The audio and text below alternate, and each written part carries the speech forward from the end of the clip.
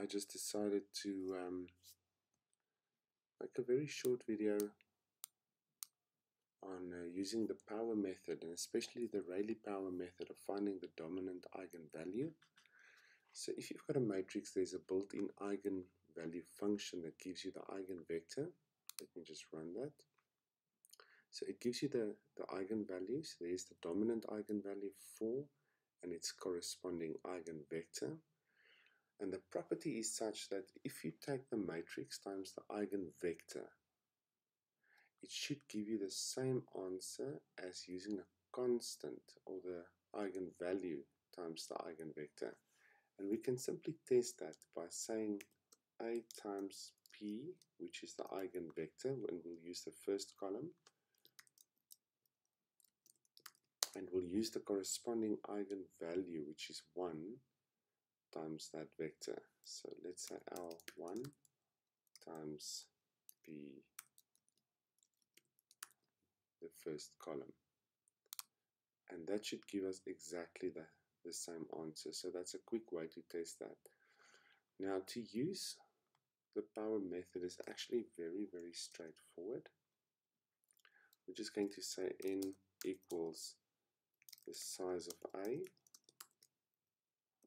and then n equals any one of the two values. So let's say n to the amount of columns. And then we're going to start off with a arbitrary uh, answer or eigenvector of x old equals, and the, we're not going to use zeros as for the Gauss-Seidel method. We're going to use ones. So we can just say um, ones n comma 1 and I'm using n so that you can use any size matrix. Let's just see if that works. So there we go. I'm just going to take away this this test for now. And then I'll use a vector just to make sure or to actually follow the values as it converges to our eigenvector and eigenvalue. So let's say xvec equals x old. Okay. Now to, to actually find the dominant eigenvalue is fairly straightforward. We're just going to create a for loop equals 1 to say 10. Let's make it 8. And then we're going to say x new equals a times x old. So this will give us a sort of a new estimate for the eigenvector. And then we'll say our lambda value, let's say k, equals x new, the first value. And then we're going to divide our vector with, the, with the, the current estimate of our eigenvector. So we're just going to say x new equals x new divided by lambda, the current lambda. And I'm going to use this, I'm going to start from 2 so that we can keep our first values here. And then we're going to add it to our vector just to follow the changes x double point k, the new column equals x new. And then we simply say x old equals x new for the next iteration and then we'll look at our lambda values and we'll look at the vector. Okay, so you can see how this is converging. Um, let me just clear all of this. Just don't want to show all these in between data. Okay, so we've got our dominant eigen value of 4 and as you can see it is actually converging to that value. So let's make this 10 see if we're getting closer getting closer and if we make this say 20 we are getting to our dominant eigen value. And this is the corresponding eigenvector okay so as you can see for the dominant eigenvalue, if you divide this whole vector with 0.5774, you'll get just simply the ones and minus 1. So just to test again, let's say lambda uh, a times lambda k and lambda k times the corresponding vector, the last column. And if all is well, this should give us the same answer.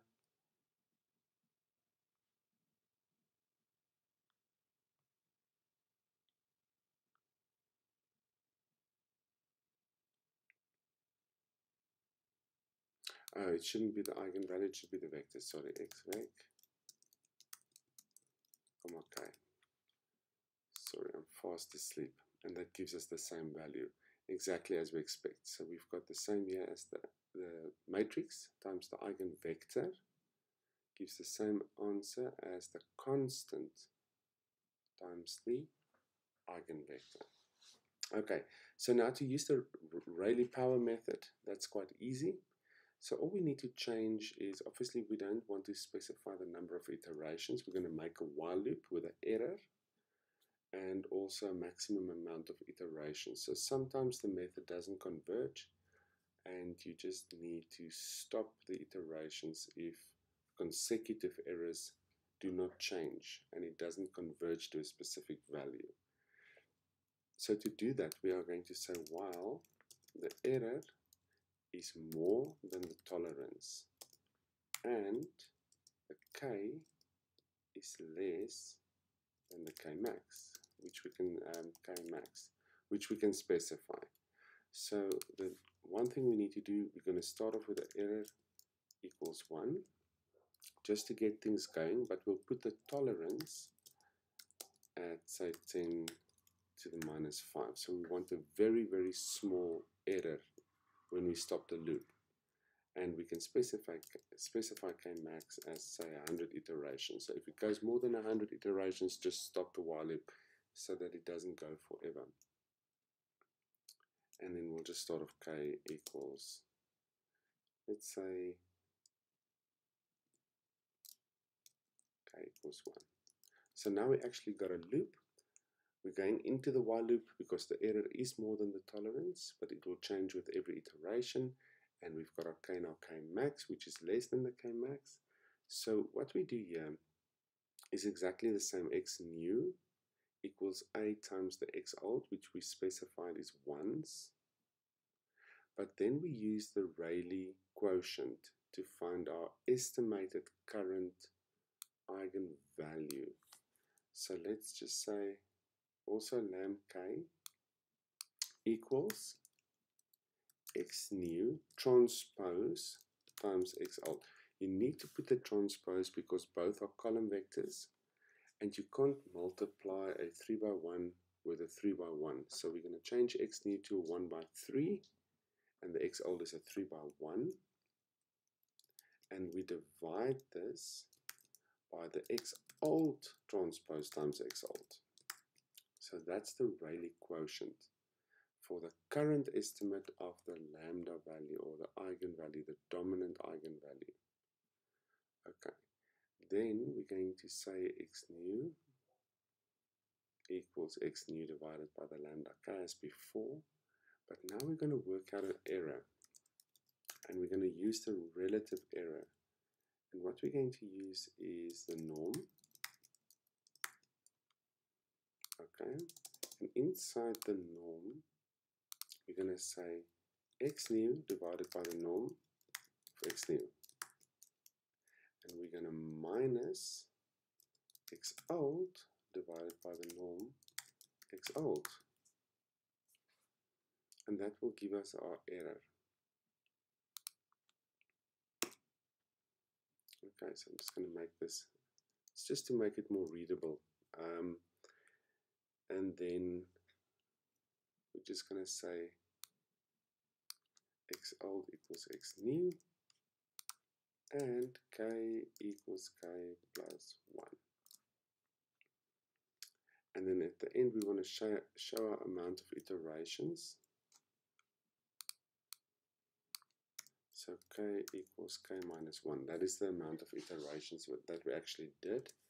We're going to show the lambda value and we show um, let's just show the, the latest vector, so x new. Okay, I'll take this away for now. So you can see how it converges to our mm, dominant eigenvalue and this is our corresponding eigenvector and once again to show that you need to just show that the matrix times the eigenvector x new must be the same as the lambda value, the latest lambda, also times the vector x new. So that's just a test to see that it converges to the same value. So that is the Rayleigh-Power method of finding the dominant eigenvalue. Now sometimes it works if you want to find the smallest eigenvalue, which in this case is 1. If instead of a, you try to use the inverse of a,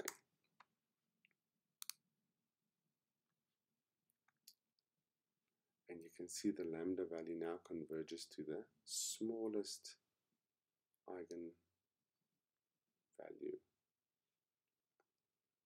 and you still have your your matrix times your vector, your eigenvector, is the same as the constant or the lambda value, which is 1 times the eigenvector. And it is as easy as that.